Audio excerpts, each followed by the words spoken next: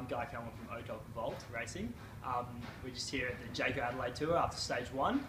Um, today was an interesting stage, just 70 kilometres of undulations and a few little sharp pinches. Um, today our plan was to establish three guys in, in relatively decent GC positions um, and also just see how, see how we all are feeling for the next couple of days.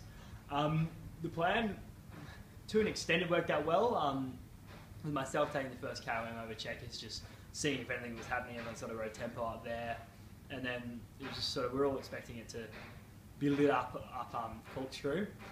So we get corkscrew and uh, a little bit out of position, so make the back of the front bunch of the corkscrew, and then Pat Bevan attacked us all. And don't know about anyone else, but uh, could not do anything about it. The, um, the guy's an exceptional rider and just took the, took the mickey out of us, really.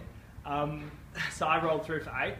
Um, couldn't couldn't complain about my position. Um, yeah, so we'll see what tomorrow brings. Tomorrow is a 100k stage in McLaren Vale. Um, we'll just be looking to maybe probably couldn't disclose it, but we'll just we'll just be looking to you know be active around bunch and um, and just see what happens. It's I think it's something like 50 seconds or something. We're all behind um, Pat Bevan, so couldn't imagine that closing much. But uh, we'll see how it all goes. But we did all over the week, and um, hopefully keep in touch. Um, obviously, I'd like to thank all the sponsors and stuff, um, OTOC and also Vault Cycle Service um, for, for, allowing us to come on tours such as the Jayco Adelaide Tour, and obviously all the sponsors of um, other teams to allow us to be have people to race against. Really, so it's um, it's a massive thanks to everyone, and um, hopefully everyone enjoys the rest of the racing and uh, keep in touch.